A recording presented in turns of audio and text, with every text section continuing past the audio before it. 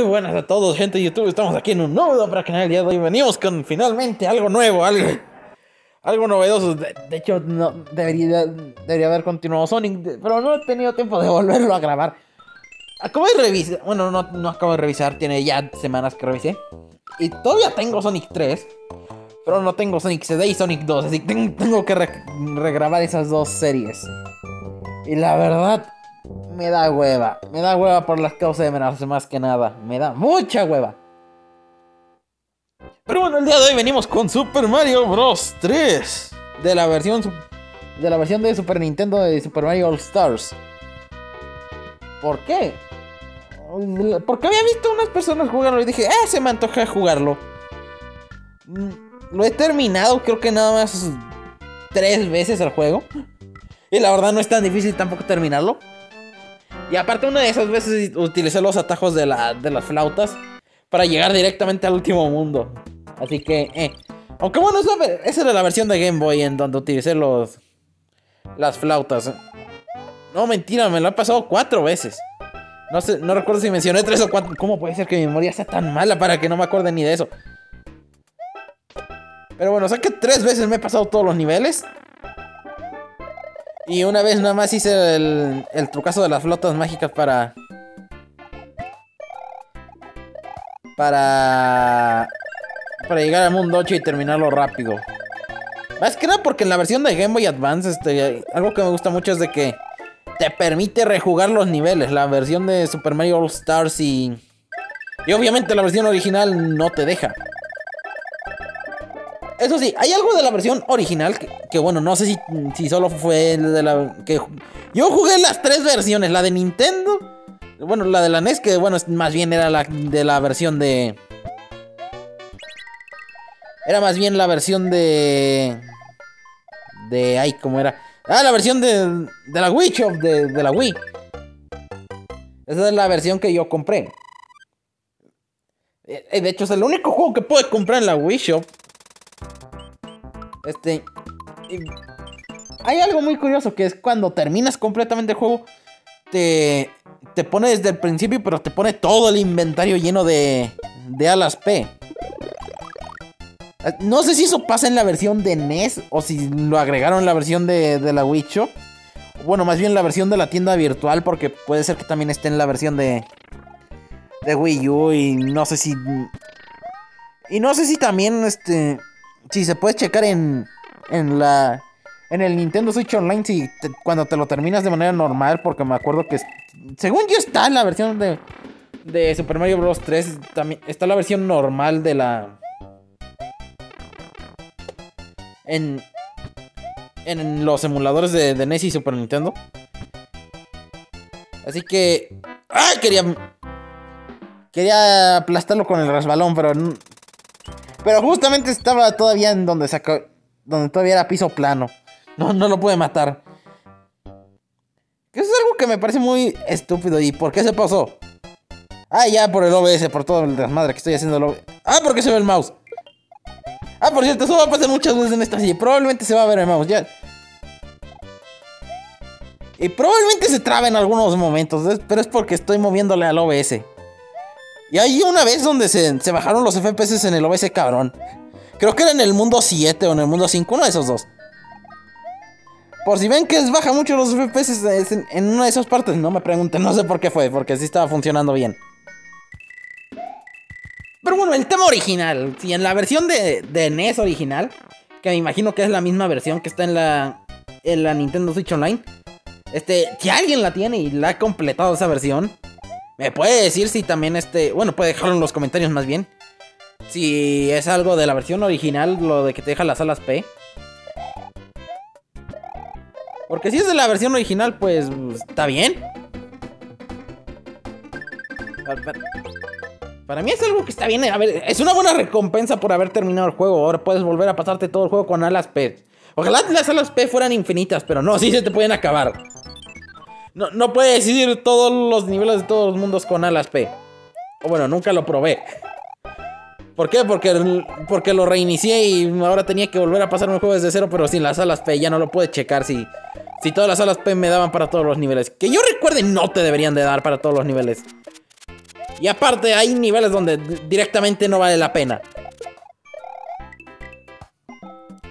Y sí, acá verán que, que me estoy pasando los niveles de forma normal. Esto no es modo speedrun. Esto es modo normal, nada más vamos a pasarnos los... Todos, vamos a pasar todos los niveles. Pero no vamos a pasarlos con los secretos. Por ejemplo, aquí podría sacar... Espera, creo que aquí sí saqué la flauta. ¡Ah, no! Me estaba confundiendo con lo que estaba haciendo del... En la versión de Game Boy Advance, pero no. Estaba sacando la... Estaba despejando el camino para poder correr y conseguir la, la última carta como estrella. Cierto, porque esa es la técnica de... La técnica infalible de correr un chingo de rato llegas a la máxima velocidad cuando comienza a ponerse la, la parte del telón, la parte donde toda la pantalla está negra. Si llegas a esa parte corriendo a toda velocidad, lo más probable es que consigas una... Lo más probable es que consigas una... ¿Cómo se llamaba? Un... Una estrella. Ay, ahí vieron que al completar el nivel 3, este, conseguí este con me salió un barco un barco de monedas. Bueno, cambió el, hermano Martillo que estaba por ahí. Se, se metamorfoseó a un barco de monedas. ¿Qué, qué propiedades de transmutación tan perronas, ¿no? Que, se pueda que se pueda transformar a, a un barco lleno de dinero. Qué chingón. Pero lo que pasó ahí es algo que tiene que ver con, el con la puntuación, los segundos y el dinero. No me acuerdo cuáles son las condiciones específicas, pero me acuerdo que tiene algo que ver con eso. Creo que aquí también se podía conseguir el barco si conseguías todas las monedas de este nivel. Pero eso es algo de lo que no estoy seguro. De eso no me acuerdo. Me acuerdo de otras cosas, que por ejemplo hay niveles en los que... Si consigues todos los... Oye, si consigues todos los... sí, todas las monedas. Estaba intentando recordar qué era, pero... Pero sí, ya recordé todas las monedas. Si consigues todas las monedas, te puede salir una casa una casa Toad azul. esas casas Toad azul tienen objetos especiales. Me parece que hay una que tiene un martillo. Hay varias que tienen este anclas. Y creo que ya no me acuerdo del resto. No estoy tan seguro, no. No estoy tan seguro de lo que te daban esas casas Tauta Azul. Sé que sí voy a llegar a mostrar una. Spoiler, me salió una porque. No, me acuerdo cuántas veces me morí. Y pues en uno de esos intentos, cuando finalmente lo logré. ¡Oh, magia potagia! Este. Magia potagia, ya pude con. Agarré todas las monedas de casualidad. Y pues sí, pues, bueno, ya les di el spoiler, nada más que no me acuerdo de cuándo fue eso. Pero bueno, este. Puta, ¿de qué hablo? Creo que he estado diciendo puras cosas sin sentido, ¿no? No sé por qué tengo esa gran capacidad de, hablar sin sentidos. Soy así de poderoso, soy así de mágico. Muy bien, ¿de qué más podemos hablar? Bueno, más bien, ¿de qué más puedo hablar mientras ustedes escuchan sin, sin mucho remedio? Va a ver mis fails de Super Mario Bros. 3. Bueno, mientras ven mis fails de Super Mario Bros. 3, eh, no sé por qué formulé mal esa oración. Este. ¡Anda, mira una casa de naipes! Este. las casas de naipes tienen algo muy chingón. Que es este. Si. Es un memorama, si.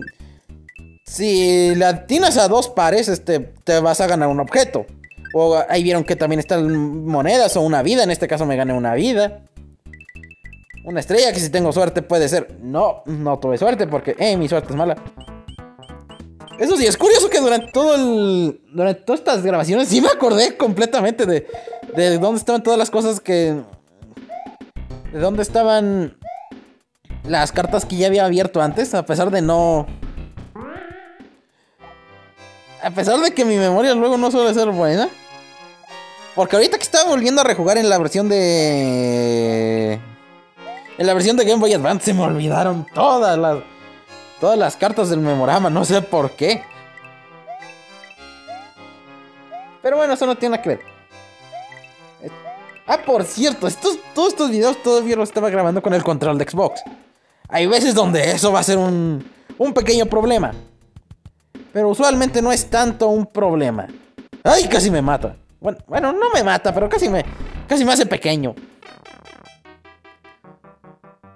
Hay que decirlo, en esta serie tuve una buena demostración de habilidad hasta cierto punto, porque pues ya recordemos que que a pesar de que no estuviera comentando, te iba a cometer más fails de los que debería. Es tradición, es, es costumbre. Bueno, es más costumbre que tradición. Pero es tradición para todos los... Para todas las personas que hacen videos. No puedes hacer nada perfecto, todo tiene que tener fails. Excepción de los speedrunners, esos, esos güeyes sí saben cómo se hacen las cosas. ¡Ah! Casi. Este... Muy bien, ahora sí a lo que venía. Este, la razón por la que no había estado haciendo videos durante todo septiembre es desconocida. Porque en realidad todos los videos que subí este mes, este, el de Nintendo Direct no lo tenía planeado. Ni, ni, sabía que iba a haber Nintendo Direct, nada más fue casualidad de la vida. Y dije, pues bueno, sí, voy a hacerlo porque no he estado subiendo ni. No he estado subiendo ni un video. Luego, no me acuerdo si los de Dragon Prince los subí en agosto. Y de ahí todo septiembre estuve. Estuve en. En stand-by, estuve haciendo nada. O bueno, no estuve haciendo nada, pero estuve haciendo nada para el canal. Y pues, sí, tal vez hubiera estado mejor que tuviera algún que otro más video, pero. Algún que otro video, pero este. Pero simplemente no tenía las ganas de estar haciendo videos. Simplemente pasaron cosas, pasaron cosas simplemente ya. No, no tengo ninguna obligación de decir nada más. Este, muy bien. Este, por cierto, ya estoy... Bueno, para, fecha de cuando se sube este video, el viernes, este... ¿Qué día es? El viernes... Viernes 30 de septiembre. Ya debería de comenzar a trabajar en los... ¡Ah, casi! Eh, ya debería estar comenzando a trabajar en... En los videos de Dragon Prince. Bueno, con el primer video de, resumen de la temporada de Dragon Prince. Porque recordemos que en noviembre sale la temporada 4 y hay que estar listos. ¿Y por qué volvió a salir el mouse? Mm, preguntas que nunca encontrarán respuesta. ¿Está claro? Bien. Este. Bueno, como iba diciendo, pues ya hay que comenzar a subir esos videos. Porque, pues sí, en noviembre sale la temporada 4 y pues. Pues estaría bien estar listos para eso. Aparte, yo soy de las de las pocas personas que suben cosas sobre Dragon Prince de manera hasta cierto punto activa, pero ya saben que no es tan activa, la verdad. Soy más activo que, bueno, Puta, es que. Que poniéndolo en perspectiva tampoco es tanto, eh. Ah, no voy a leer eso, nada más. Ahí dice que mm, le quitaron la varita mágica y con la varita mágica mm, que le quitó uno de los Koopadings vamos a, a recuperarlo. Es, es así durante los siete mundos, no vamos a hacernos pendejos. No vamos a estar leyendo esa mamada todo, todo durante siete veces. Siempre es el mismo diálogo y al final te cuando lo rescates te va a decir, oh, gracias. Verga, me morí de la forma más pendeja posible. Es costumbre. Ya estoy acostumbrado. Pero bueno, lo que iba diciendo. Ah, por cierto, como vieron, el barco volador, para los que no conocen este juego, si pierdes el barco volador se mueve en algún, algún lugar del mapa. Eso va a ser un problema para futuros mundos. Porque si el barco volador se mueve hacia un nivel que no has completado, o si obtuviste Game Over que que en la versión original de NES y en la versión de Super Nintendo, eh, o sea, esta, significa que si obtuviste Game Over, tienes que volver a pasar todos los niveles. Lo único que se queda guardado son los castillos. Eso significa que tienes que pasar ese nivel que. que o, obtuviste Game Over y se. se eliminó, se dejó de contar como que lo tenías este, completado. Y ahora se volvió un obstáculo. O simplemente decidiste no pasarlo y ahora. Ya, oye, ahora. Te, te impide el paso porque no lo quisiste pasar antes. Eso va a ser un problema más adelante. No sé si me estoy explicando bien, lo van a ver. Lo, voy a ejemplificar yo mismo para. Para que vean y no. No resulte tan confuso toda mi estupidez a la hora de formular oraciones. Y no sé por qué están aventando cohetes el día de hoy. Espero que no, no los hayan escuchado. Pero bueno, primer Link derrotado, primera varita recuperada y primer mundo desbloqueado. Sí, ya está desbloqueado. No, este primer mundo completado al 100%. Madres, ¿por qué están aventando cohetes justamente cuando tengo que hablar? Me esperé, me esperé un minuto para que dejaran de aventar cohetes. No aventaron ni un puto cohete durante todo el minuto. Ahora justamente que me pongo a hablar, vamos a aventar cohetes. Me lleva la chingada. ¿Por qué? Ah, por cierto, cada vez que termine un mundo la princesa Peach, que no está secuestrada, oh milagro, te va a mandar un objeto. En este caso fue un, una lapé. Este... Y van a ser varios objetos en el transcurso del juego.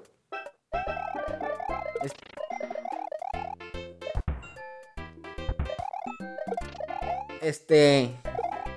Ahí luego vamos a ver qué más objetos nos, nos envía la princesa. Son objetos útiles, algunos, otros son una porquería. No me acordaba que esa tubería estaba ahí, tuve suerte a la hora de volar aquí. Y son monedas gratis, así que... Eh, no me quejo. Todavía sigue activo, la... La P. Ah, ya me acordé de, algo de esta zona. De... Aquí hay algo muy curioso. Eso no era. ¿Por qué siguen aventando cohetes? Muy bien, a lo curioso que venía de, este, de esta habitación. Y tiene que ver con, con esa P que está ahí. Sí, los bloques de esos se regeneraron. Y ahora, si nos volvemos a meter... Bueno, si nos volvemos a meter y lo hacemos infinitas veces, podemos tener monedas infinitas y por ende vidas infinitas. Es un pequeño detalle para los que... Pero es que lo quieran intentar ahí pueden tener vidas infinitas y se quitan de problemas. Sí, es un método lento. Sí, pero... Es funcional. Es menos costoso que estar este, luchando con... Que otro de los métodos para conseguir vidas infinitas es menos costoso. Es más sencillo. Así que, eh. También estaba el otro método del nivel... Del nivel 2, que era conseguir... Que era estar pisando todos los gumbas que generaba una de las tuberías. Pero esa técnica siempre me pareció un poco... Bueno, siempre me fui poco hábil para esa técnica, nunca me salió. Por cierto, este es otro de los niveles donde si consiguen todas las monedas le sale una casa todo azul. Tiene que ver con esa P. Ahí no me acordaba que ahí había una vida. No recuerdo si hay vidas escondidas en la mayoría de niveles o qué. Pero bueno, ahí por si se la pasan perdiendo vidas y vidas y vidas, pues... Pues pueden reponer las vidas que pierden y pueden evitar el game over. Y evitar lo que dije hace rato de estar todo el... Evitar lo que dije hace rato de, las pérdidas de...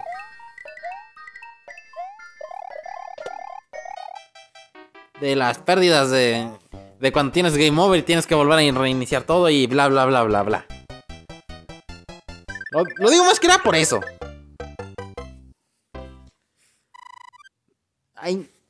Mm, es para evitar el problema de tener que volver a pasar los niveles en caso de que no, se haya pasado el castillo. O en caso de que ya te hayas pasado el castillo y mueras en el barco, pues tener que volver a pasarte los niveles por... Por... Porque el barco se fue a una zona donde tienes que pasarte un nivel obligatoriamente. Lo digo más que nada por eso, para, evitar los game overs. Eso sí, creo que en los barcos creo que no hay vidas extra. Así que ahí sí ya está ligeramente más complicado. Ven, tuve mucha suerte. Y ya me quedé sin intentos, vámonos. Estoy avanzando muy rápido en este juego, cuando, en realidad me costaba más. Ahí se ve cómo he, cómo he obtenido habilidad innata. Bueno, bueno, cómo he evolucionado de, de pasar a morir en el primer Goomba a hacer esto. Bueno, no moría en el primer Goomba, pero... Pero el segundo mundo me parecía imposible cuando todavía era niño y ahora y ahora ya es más fácil. Eso sí sigue siendo una complicación. Es una curva de dificultad muy... Muy interesante teniendo en cuenta cómo era el... Cómo es el primer mundo de fácil. Es una curva de dificultad. Sí, es un poco empinada, pero no está tan, tan cabrona. Eh, está mejor planteada de lo que parece. Bueno, de lo que le parecía a mi, a mi yo pequeño. Y casi agarro la Casi eh, agarro suficiente vuelo para volar, pero no. ¡Ah! Casi me mata. Si se lo preguntan, no me acuerdo si, si los pinchos te pueden matar aplastándote, creo que no, pero pues, si te quedas atrapado en los pinchos, pues te van a matar. Así que de preferencia intenten no morir, eso es lo mejor que puedo decir. Intenten no morir con los pinchos, porque porque según yo, si te, si te dejan atrapado, pues sí, ahí valiste madres. Muy bien, no sé cómo me desvié del tema que estaba diciendo hace rato.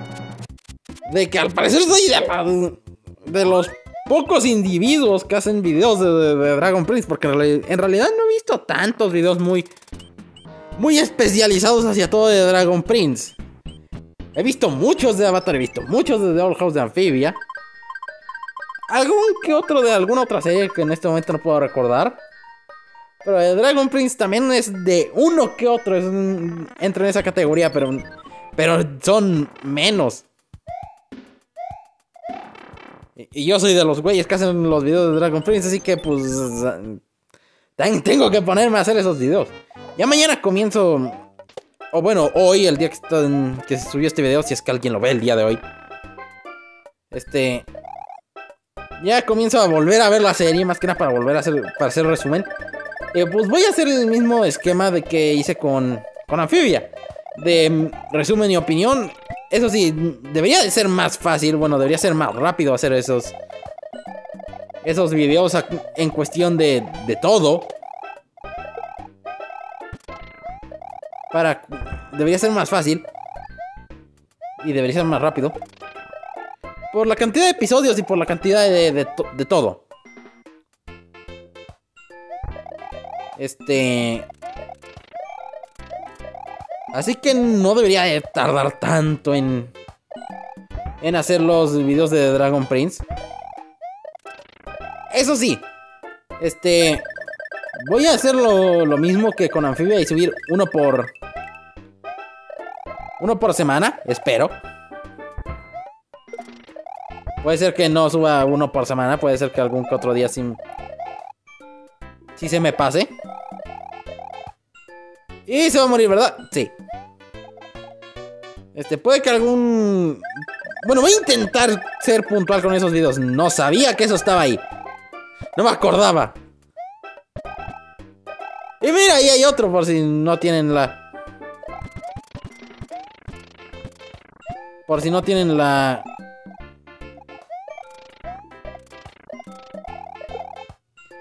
Por si no tienen la. Eh, la hoja Tanuki para poder volar ahí arriba, como hice yo ahorita. Pues ahí están para conseguir esas monedas. Que pues son buenas monedas. Y la cagué por pendejo. ¡No! ¡Otra vez no! ¿Cómo pude cometer el mismo error dos veces? Salta encima de la. Ahí está. Muy bien. Este. Muy bien, ahora de qué más hablo. Es que no quiero decir nada de Dragon Prince ahorita. Y no quiero volver a utilizar los temas de anfibia. Ya Como que sí, ya está. Hasta yo mismo ya estoy harto de, anfibia. Ya es como de ya. Y entre más pienso en anfibia, más pienso en los fallos que tuvo en la, en la última temporada. Y más rabia me da que no pudo haber. Que no pudo haber terminado de forma perfecta. Que pudo haber sido muy diferente.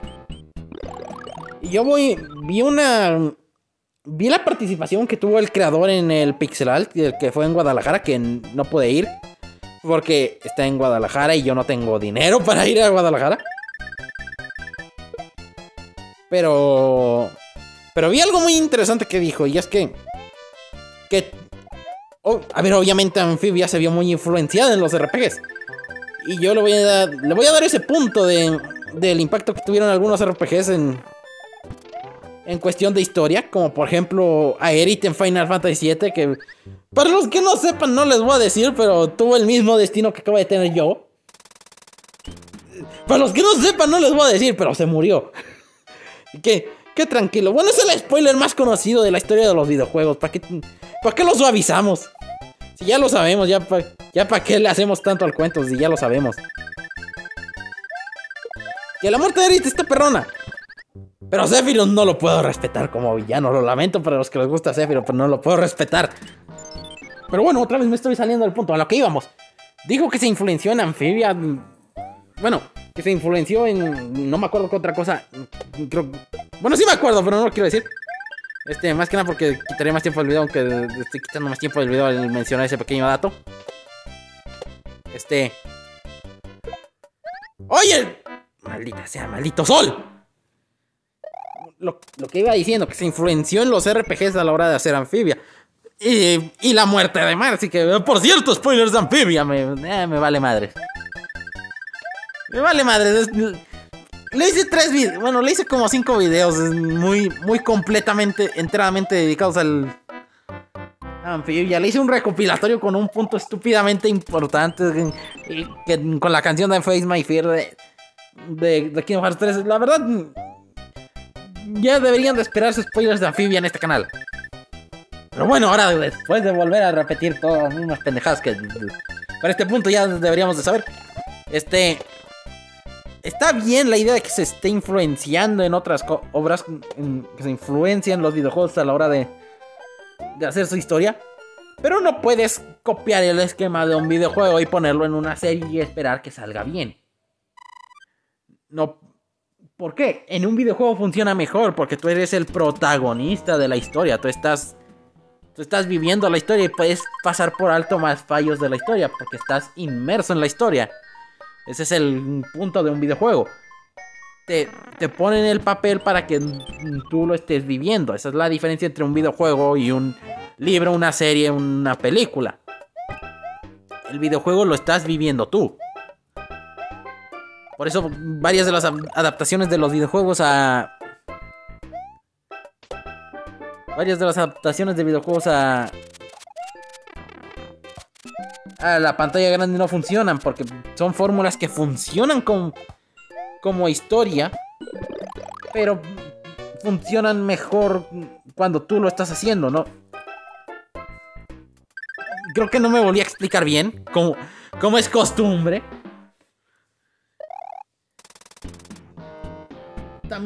y también es también se ve que se influenció de otras series, pero es que en otras series que son, son anteriores lo hicieron mejor. Por ejemplo, Avatar, el último maestro aire. Vamos, no sé por qué vuelvo al. No sé por qué lo, lo, vengo a mencionar ahora.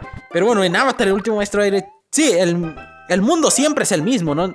No está cambiando como en Anfibia. Y aparte, todo el esquema de, de la guerra de, de la Nación del Fuego contra, contra el mundo, básicamente. Es algo que, que ya tenemos en cuenta desde la temporada 1. No como en Anfibia que nos ponen el esquema de la guerra hasta la temporada 3. Espera. Espera poner todo el desarrollo de que, que tuvo la guerra de. La guerra de Bueno, obviamente no. Eso no. No siento que haya esperado eso en ningún momento. Pero no se centró en contar las cosas que debía contar. Por ejemplo, he visto algunas filtraciones de, que me, las han mandado. Bueno, no me las han mandado, pero el internet me ha spoileado a pesar de que yo no quería. Que lo que iba diciendo, este, de las filtraciones del diario de Marcy, que, que es un libro de anfibia que van a sacar, que retrasaron hasta diciembre en realidad. Este. Eh, y en algunas de esas páginas.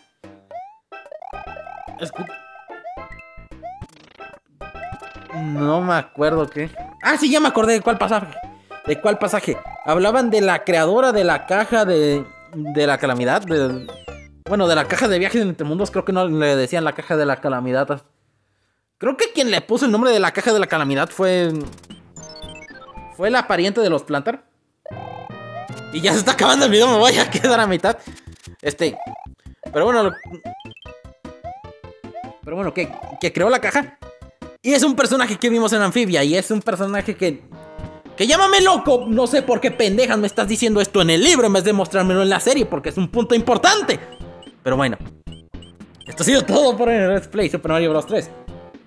Después de ese emperramiento muy gratuito. Espero que les haya gustado. Y nos veremos en el próximo video. De otra vez Super Mario Bros. 3. Vamos a hacer esto hasta terminar. Hasta la próxima. Adiós.